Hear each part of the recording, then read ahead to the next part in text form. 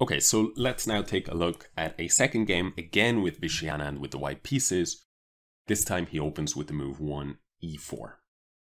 So black responds with e5, and white plays knight f3, immediately attacking the pawn on e5, so black plays d6. Not as popular of a move as, say, knight to c6, for, you know, a couple of reasons, one of them, of course, being that this bishop gets locked in. White now plays bishop to c4, and black plays knight to d7. White plays d4, and now black plays c6, which is quite a common idea in these openings, simply to gain control of that potentially important square on d5 and sometimes support a advance of the pawns on the queen side. But black has to be very careful in these lines because after the move d takes e5, already there is a possibility for black to go seriously wrong. If he plays the move knight takes e5 here, white would respond with knight takes e5, and now black would have only one move to stay in the game, so to speak, and that is queen a5 check, taking advantage of the exposed e1 to a5 diagonal, and after a move like knight to c3, black is able to collect this knight on e5. Having said that, white could continue with a move like f4, and again, we notice first black played the check, second move in a row where he moved his queen, and now third move in a row, he's got to move his queen because it's being attacked by the f-pawn. So let's say queen to a5. Now white could play a move like bishop to d2, eyeing up that queen, and black would probably have to move the queen, and now white would simply castle. And the, the position is very, very good for white because he has developed all of his minor pieces and he has good central control, and his king has already castled. So all of the key principles are there. Whereas for black, his king is still in the middle of the board, and all of his minor pieces are still undeveloped. And why is that? Well, because he made a lot of pawn moves, and then the remainder were a lot of queen moves. So this is something that black should avoid. But let's rewind and ask ourselves why it is that black had to play this check on a5 to recover the knight? Well, the reason is because after d takes e5, there is a strong tactic for white that basically wins on the spot. After d takes e5, the problem is that if we look at development, we see that the queens, the d file has opened up, and the queens are simply in a kind of a reciprocal relationship here, right? They're both eyeing each other up on the d file. Same can be said for the pawns here on e4 and e5. It's kind of symmetrical. But the symmetry ends there because white has better development. Notice that black has pushed this pawn to c6, whereas white has spent his time bringing out his light squared bishop. White is also one move away from castling kingside, whereas black still has his minor pieces blocking that. So from the point of view of king safety, this is very problematic. However, it's really this extra developed piece that leads to a tactic. White here has the move bishop takes f7 with check. Now the idea is that after king takes f7, well, white simply picks up the queen on d8 and it's game over. So black actually would have to play the move king to e7 to avoid losing his queen, but he is down a pawn and his king is unable to castle in the future and it's on e7, which is a very uh, vulnerable square and blocks the bishop. So the position at the club level, sometimes black will be able to recover and win the game. But at, say, grandmaster level, this would just be considered a losing position for black. So this is something that really needs to be avoided. Now, I want to show one thing, which is let's imagine a situation where in this position, rather than black's position being entirely hopeless, if black had one minor piece developed, that this knight on g8 was on f6, for example, let's imagine a situation where the knight is on f6 and white pawn is on h3, something like this. Well, in this case, the situation would still be okay for white, but it would be a lot less good because black would have bishop to b4 with check and a discovered attack on the queen. So notice the way that development can even make the difference between a tactic being just completely winning and crushing or a tactic having a, a suitable defense, a suitable tactical response. So always keep that in mind. Anyway, the game did not proceed in this way after d takes e5. Black simply captured back with the pawn, what was correct to do. But Anand here could castle, right? Very, very simple, logical, complete your development, bring your king to safety. But instead, Anand was aware of what Black wanted to do. Well, he wants, Black wants to develop his minor pieces and then castle. But Black is behind in development because his minor pieces are still there, whereas White's kingside minor pieces, they've both been moved from g1 and from f1. So White uses this to his advantage and combines this bishop that was on f1 but is now pressing on f7 with this knight that was on f1 but now has the possibility to jump to g5. And he plays this move and he uses those two developed minor pieces to pressure black's f7 point. And now black had to respond with the move knight h6 because that's the only way to defend this pawn on f7. And what's very interesting about this is that even though black has actually made a developing move, the thing is, this knight on h6 is not a very good piece. It's not a very well placed piece. As they say in chess expression, which many of you may be familiar with, is a knight on the rim is dim, right? So in this case, sometimes there are exceptions, but in this case, it absolutely isn't an exception. This knight on h6 is nowhere near as, as well placed as if it was on a more central square. Now, where did the knight want to go? Let's imagine here white didn't play knight g5, but instead played a move like castle. So black would probably have played bishop to e7. And now let's say that white makes standard mechanical developing moves. Now black plays the move knight to f6. And let's say white plays, I don't know, let's say queen to e2. Well, black simply castles. Now black has completed his development in a very harmonious way. He's brought his knight out to a central square from which it eyes up the e4 pawn and even eyes up that d5 square, and the knight is simply just well placed there. On h6, it would have been a target, some moves like bishop takes h6, ruining the black pawn structure, but on f6 it's perfectly safe. So Anand, of course, is not going to allow his opponent to do that. Instead, he takes one moment, one move, rather than completing his development, he focuses on his opponent's plans of developing and he hinders those. By attacking the f7 point, it's not that it cannot be defended, but it is that the only way it can be defended is by developing a black piece onto a bad square. And that's another point, which is that development is not as simple as getting your pieces out from their starting squares. It is get your pieces out from their starting squares, onto good squares. You don't want to get your pieces out onto bad squares. But that is not something we should focus on too much other than, you know, take a look at what happens here with this knight. White plays the move castle, and now black plays the move bishop to e7. So he's completed his development in a certain fashion, right? But notice how in the ideal scenario, the knight would have been on f6. But in this scenario, the knight is on h6, and we said that in some situations it can be targeted. Now, Anand creatively exploits this particular idea and plays the brilliant move knight to e6, which must have been a bolt from the blue for his opponent. Now, the knight is very simply attacking the black queen and creating a second attack on the pawn on g7. So the knight must be taken, because if, let's say, black plays queen b6, now I take this pawn on g7 with check. The king must move, and no matter where it goes, my next move is going to be to take this knight on h6. So I've won a pawn and a knight, and it's game over. And we see it's that same knight that was on that vulnerable, bad square of h6. Therefore, black simply captured the knight, and now we see Anand's idea. Again, bishop takes knight on h6 exploiting the vulnerable position of the knight. Now, if black captures, then white plays queen to h5 check. Now king has to step to f8, and bishop takes e6, with a devastating threat of checkmate on f7. And we see once again the development issue coming into play here.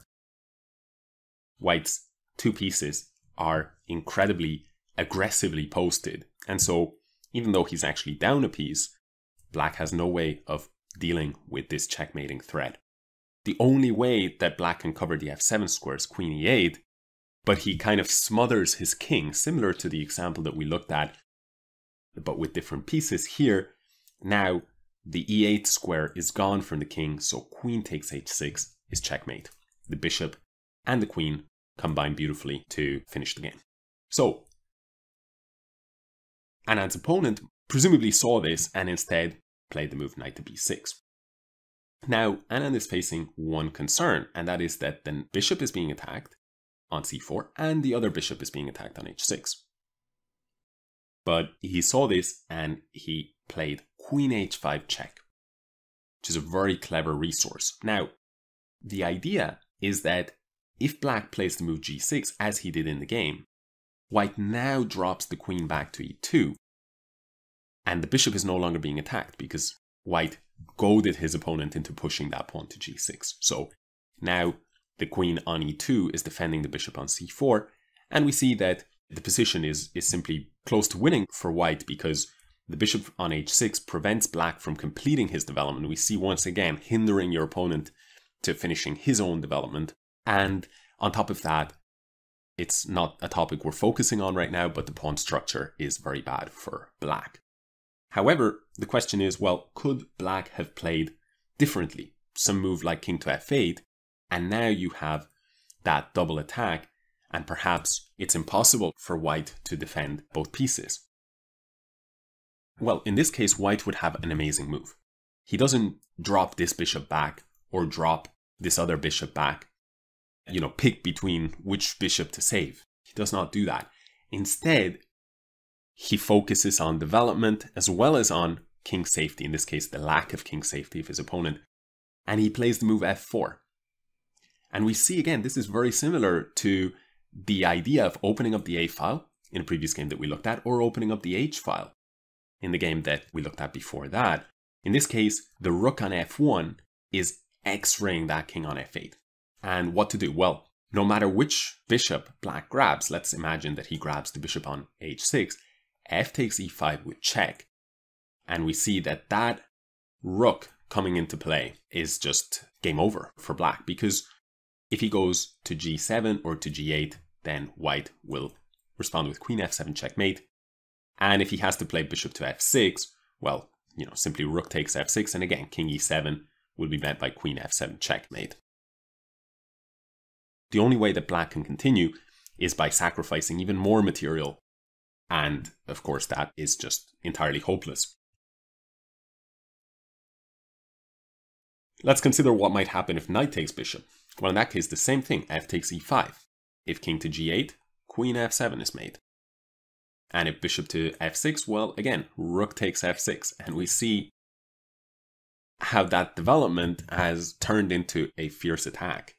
And g takes f6 is not an option because of this diagonal, right? The pawn is being pinned by the bishop. So again, if the king goes to e7 or to g8, queen f7 is checkmate. So the only way black can continue the game is by taking here, but needless to say, this is hopeless. And indeed, it's going to be forced checkmate very, very soon. So f4 is simply crushing move. Now, there's nothing to be done. White simply is going to take on e5 and black has no time to capture either bishop. So after queen h5 check, black played the move instead g6, which was a very, very smart idea. I mean, if king to d7, that was the alternative, rook d1 check, and we see serious problems here along the d file.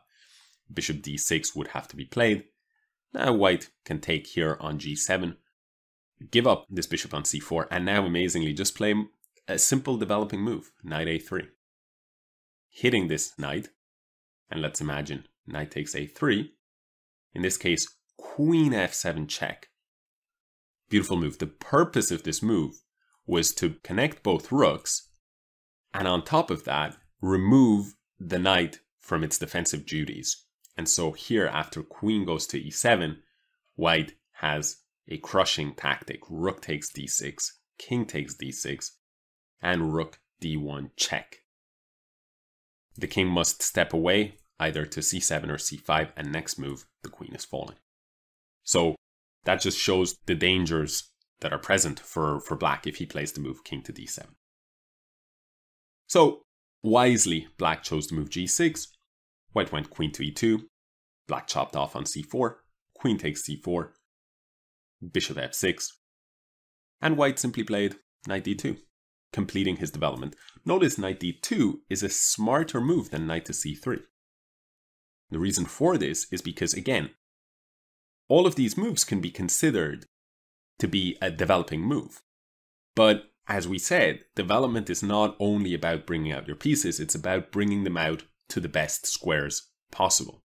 And if the knight goes to c3, well, it looks good, but where is it going to go to next? All of these squares are covered.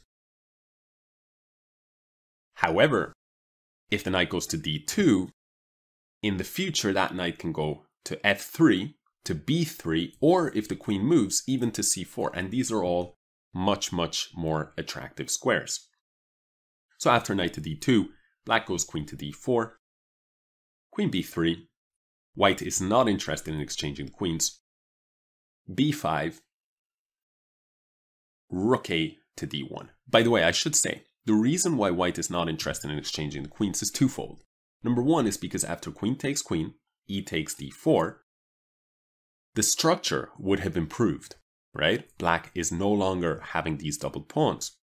And the second reason, uh, just as important, is the fact that black still has the king in the center of the board. White has his king safely tucked away. And so much, much better to play a move like queen b3, keep the queens on the board, and maintain good attacking chances.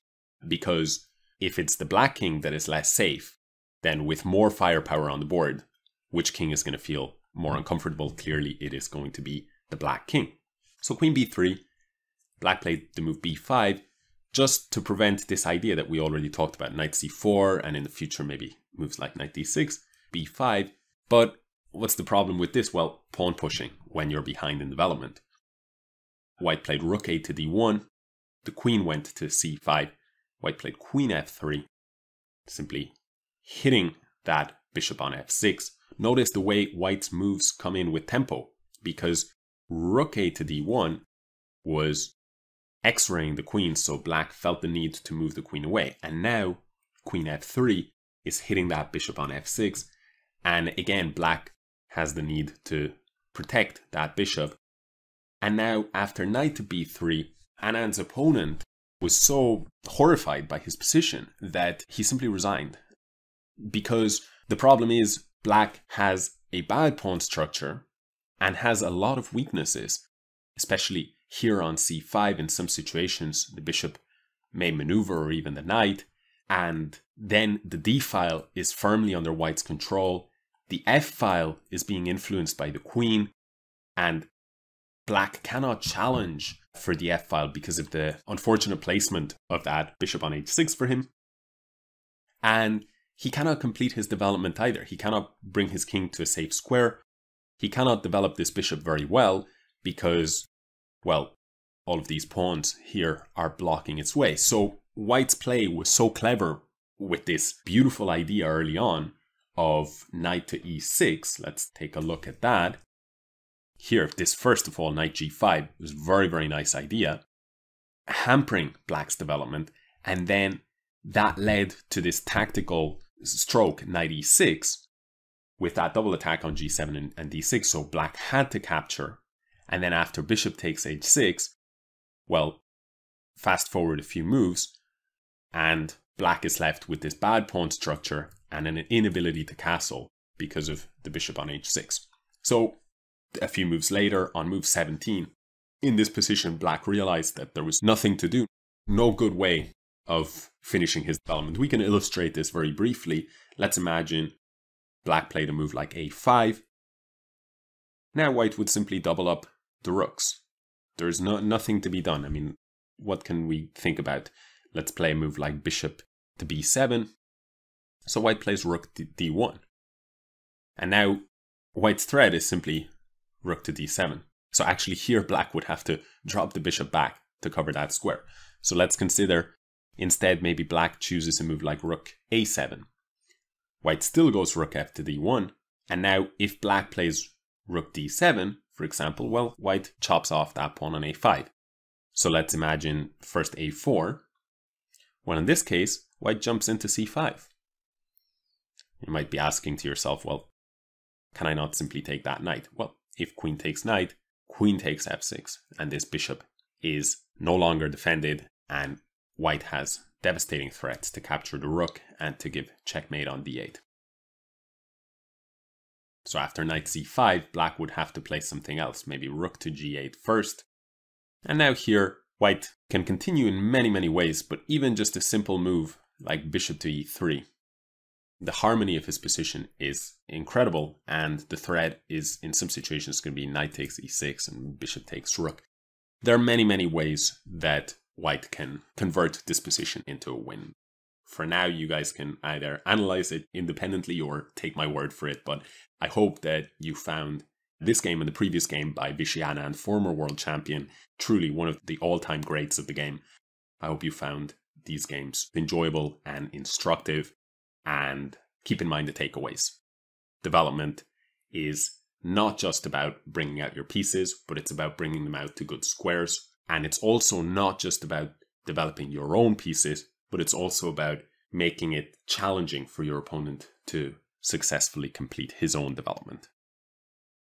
So that's it from me on the topic of development. And now let's turn our focus to king safety considerations. I'll see you there.